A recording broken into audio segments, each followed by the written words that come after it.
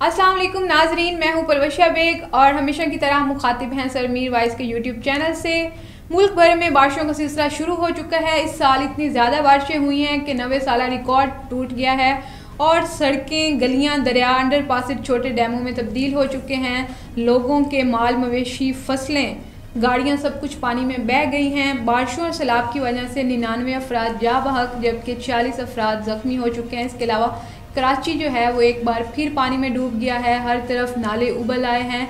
बारिशों का गंदा पानी हर तरफ़ देखने को मिल रहा है। लोगों की ज़िंदगी अजीरन होकर रह गई हैं। अगर ऐसा ही चलता रहा तो पाकिस्तान मुकम्मल तबाही की तरफ़ चला जाएगा। इसके अलावा हम बात करेंगे पाकिस्तान में मौजूद डैमों की सूरत हाल पर। हमारे साथ स्टूडियो में मौजूद है सर मीर वाइस खिलजी साहब। अस्सलाम सर। सर ये बारिशों के बायस मुल्क भर में तबाही हो रही है। इसमें वफाकी हुकूमत ने क्या कदम उठाए देखिए मैं एक काफ़ी शोज़ में कह चुका हूँ और ऐसा लगता है कि मैं प्रो पी टी आई हूँ ठीक है? पी टी आई पे जितने सोशल मीडिया पे तनकीद मैं करता हूँ मगर मुझे इस चीज़ में बड़ी कोफ्त होती है और मैं बेशक जो मर्ज़ी लोग कहते रहें देखें सूबे का काम सूबे जाना। आप पी टी आई से पूछ सकते हैं के पी गवर्नमेंट के बारे में। उसे बेशक पूछना भी चाहिए और पूछा जाता भी है। के पी गवर्नमेंट देखिए एक तो first of all K P government में जितनी तबाही हुई है हमारा मीडिया उनको दिखाई नहीं रहा। क्यों? Non issues non related person से आस्किंग ये मुझे अजीब लग रहा है। देखिए कराची में 12 साल से कौन इकतदार पे बैठा पाए पीपल्स पार्टी ठीक है? ये ज़्यादा पानी आता है ज़्यादा बारिश होता है तो ज़्यादा पानी आता है। ये एक फन मोड भी बन गया है। हम्म। ठीक है? बारह साल से आप गवर्नमेंट में हो। अठारहवीं तरमीम को लोगों को पता नहीं है। अठारहवीं तरमीम के बाद आपके पास कौन से पावर्स आ गए हैं? ठीक है? वैसे भी ये जो सफ़ाई दफाई का काम है, ये अगर पंजाब गवर्नमेंट में, पंजाब गवर्नमेंट जिम्मेवार है। अगर केपी में है तो केपी जिम्मेवार है। अगर सिंध में है तो पीपल्स पार्टी जिम्मेवार मैं क्यों पूछूँगा कि फेडरल गवर्नमेंट से रिगार्डिंग इसका सवाल? बेटे वो हैं, उनके बंदे लगे हुए सारा सिस्टम डिपार्टमेंट उन्हीं के हाथ में, सिंध गवर्नमेंट के हाथ में। मुझे क्या पड़ी हुई है कि मैं फेडरल गवर्नमेंट से पूछूँगा? और क्यों पूछूँ? और लोग क्यों पूछते हैं? हाँ अगर आपने पीटीआई से पूछना है आप पीटीआई से सवाल करें रिगार्डिंग केपी गवर्नमेंट जो कि वो करते नहीं है। ठीक है? मैं मुखालिफ हूँ कि आप राइट पर्सन से राइट क्वेश्चन करें एट द राइट टाइम अगर आप सवाल कर मुझसे पूछेंगी कि सर केपी गवर्नमेंट में जो तबाही हुई है वो फेडरल गवर्नमेंट चूँकि पीटीआई है उसके जिम्मेवार। तो मैं कहूँगा बिल्कुल नलायक है और बातें बहुत ज़्यादा करते हैं काम नहीं करते ठीक है एक्शन ये ये फ़िल्म सीन ही है। और किसी को मरहम जो है ना बातों से नहीं लगता। आपने काम पानी रुक नहीं जाता बातों के साथ। पानी के लिए डैम बनाने पड़ते हैं। ठीक है? मगर अगर आपका सवाल है सिंध तो फिर मैं फेडरल गवर्नमेंट कौन? मैं नहीं जानता। मैं सिर्फ़ सवाल है मुल्क भर में बारिशों का देखिए मुल्क भर में बारिशें हैं मगर प्रेजेंटेशन किसकी है? कराची, कराची सिंध की। एक तो हमने निगलेक्ट करते हैं बलूचिस्तान को। देखिए बलूचिस्तान में जो कुछ हो रहा है वो बलूचिस्तान गवर्नमेंट जाने। ये इस तरह नहीं कि अचानक से बारिश हुई पेशन गोई पहले से पहले थी से और पता था ये कुछ होगा। हम्म। और ये पहली दफ़ा नहीं है। आपसा बड़ा कमज़ोर है हमारे पाकिस्तानियों का। हर दफ़ा यही करता है दो साल के बाद यही कुछ होता है और हर दो साल के बाद हम फिर भूल जाते हैं। क्या जिन लोगों ने वोट किया पीपल्स पार्टी को उनको नहीं पता कि पिछले आठ साल से या दस साल से वो क्या करते रहे? क्या करते रहे? ठीक है? आप जब आपका अपना अफसर अफसर कमज़ोर है मैं गवर्नमेंट से क्यों पूछूँ? मुझे तो पूछना चाहिए था लोगों से। किस बल किस किस बलबूते आपने पीपल्स पार्टी को वोट दिया और क्यों दिया? आप डिजर्व करती हो इस तरह की गवर्नमेंट और आप भुगतो इन इस तरह के लोगों को। देखिए हमारे पास चांस होता है वोट के ज़रिए। आधी आवाम हमारी निकलती नहीं है। ठीक है? छुट्टियाँ मना रही होती हैं। जब छुट्टियाँ ख़त्म हो जाती उसके बाद जब गवर्नमेंट कुछ करती हैं तो सबसे ज़्यादा तबसरे भी वही लोग करते हैं जिन्होंने वोट नहीं डाला। कोई हक नहीं पहुँचता अगर आप वोट नहीं डालते और आप किसी से भी बात कर रहे हो एक। दूसरी बात यह है कि हम वोट बेचती क्यों हैं? 2000 के ऊपर कौम परस्ती की फिर वारियत पे ठीक है? आप कोई शिया मसलिक का खड़ा होगा तो आप वो अच्छा है बुरा है काम करना जानता है नहीं जानता एजुकेटेड है या नहीं है कोई स्ट्रेटेजी उसके पास है नहीं मगर उसको देगा अगर अहली हदीस से खड़ा होगा तो वोट उसको मिल जाएगा। अगर फॉर एग्ज़ाम्पल एक ट्राइब है हमारे बलुस्तान में तो और भी बड़ी मुसीबत है।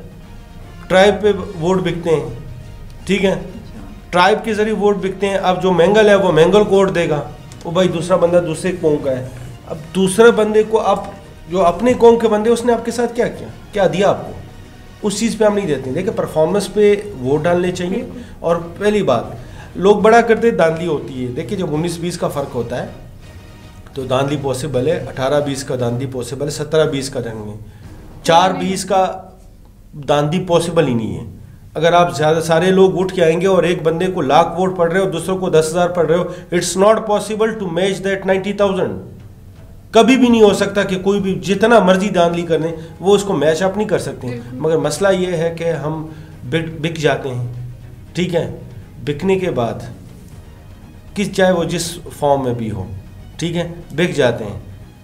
तो फिर उसके बाद होना तो यही है। बारिशें हो रही हैं बिल्कुल बहुत ज़्यादा बारिशें बहुत ज़्यादा नुकसान है। वो लोग बहुत ज़्यादा तकलीफ़ है। मेरे दोस्त यार जो 48 घंटे बहत्तर घंटे से उनके पास बिजली नहीं है। पीने का पानी नहीं है खुराक नहीं है। सारा कुछ दरहम बरहम हो गया है मगर ये कैसे हुआ? देखें उसके साथ साथ नालियाँ सफ़ाई वक्त पे क्यों नहीं होती? आपको पता है मानसून की बारिशें आ रही हैं चार महीने साल पहले आपको पता होता है कि अगले साल फिर बारिशें आनी। अब ये बारिशें याद रखें और हमारा प्रोग्राम नाजरीन याद रखें। अगले साल फिर बारिशें होंगी। फिर यही हाल होगा फिर ये तमाशा होगा और फिर ये जब खत्म हो जाएगा सब लोग भूल जाएँगे।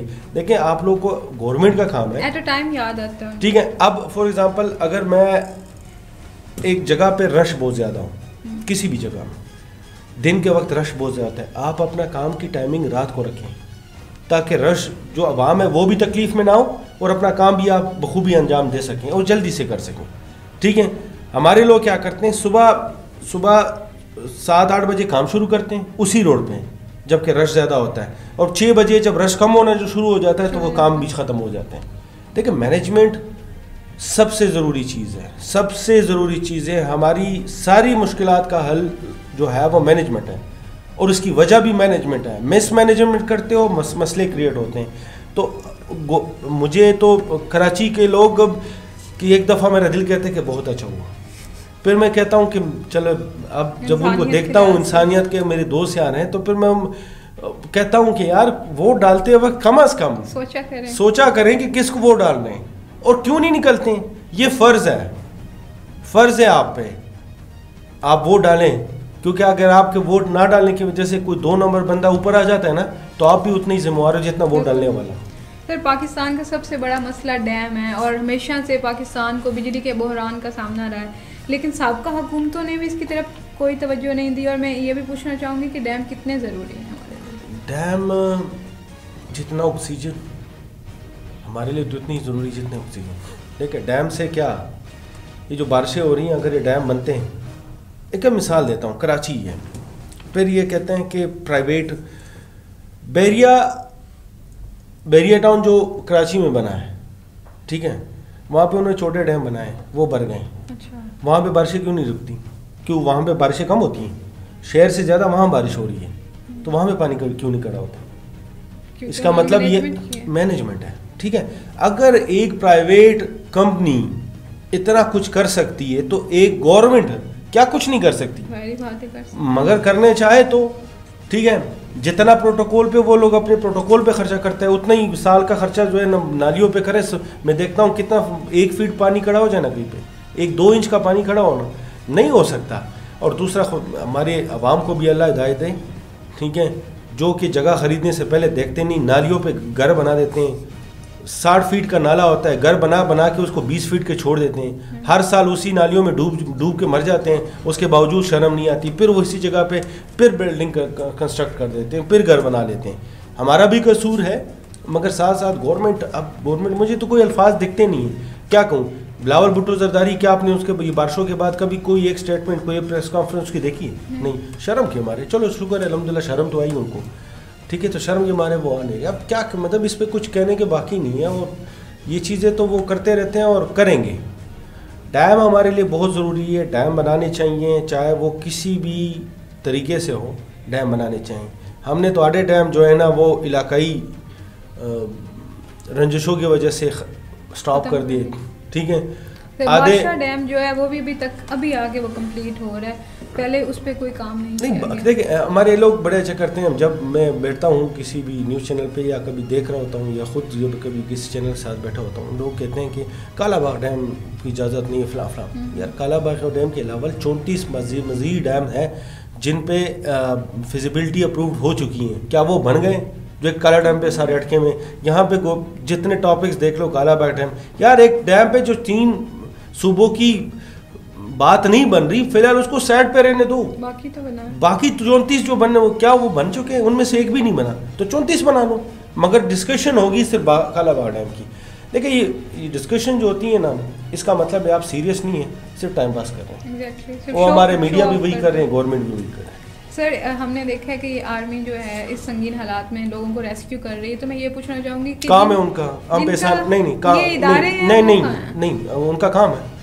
जब भी मुश्किल वक्त है किसी भी मुल्क में आता है तो उनको वैसी आर्मी क्या करती है? सर, दिन बैठती तो है ना, लेकिन सारा दिन बैठती है ना। सालों साल सैलरियाँ ले रहे हैं ना तो कोई नई बात नहीं है। ये बात जब करना ये सोशल मीडिया पे इसकी भी मुखालिफ हूँ कि जब कहते हैं कि आर्मी आर्मी का हमारे एक डिपार्टमेंट है उसका काम है। ठीक है?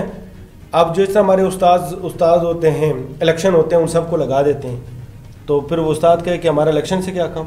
हर डिपार्टमेंट आप डिपार्टमेंट में हो आप आर्मी में हो वैसे ही साल साल बैठे होते हो एक महीने अगर काम कर लिया तो कौन सी बड़ी बात है? करना भी चाहिए।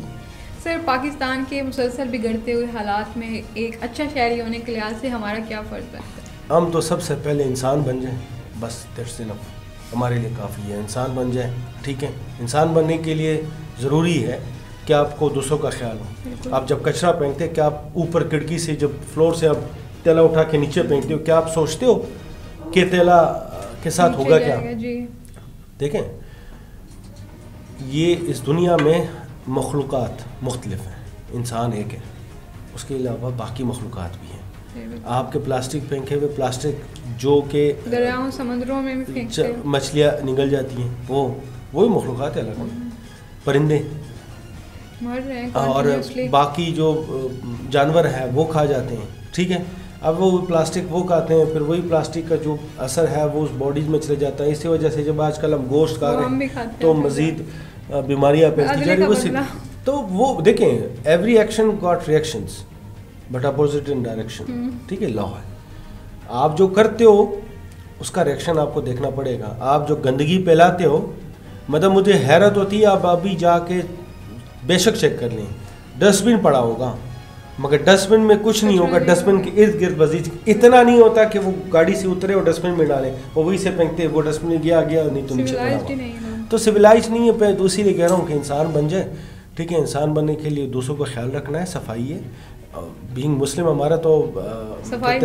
निफ ईमान है मगर हमारा ईमान तो कभी की आदत तो है नहीं क्योंकि हमारे पास सफ़ाई नहीं है ठीक है उसके अलावा आप जब घर ख़रीदते हैं खुदारा जब प्लॉट ख़रीदते हैं खुदारा उस चीज़ को चेक करें। नालियों पे, पानी की गुजरगाहों पे घर, प्लॉट ना बनाया करें, ना ख़रीदें। अल्लाह ताला आपको जिस जगह में आप, वहाँ पे भी आपको मुफ़्त में नहीं मिल रहा। पैसे दे के मिल रहा है तो कहीं और पे भी जाके ले सकते हैं। आप ना लें।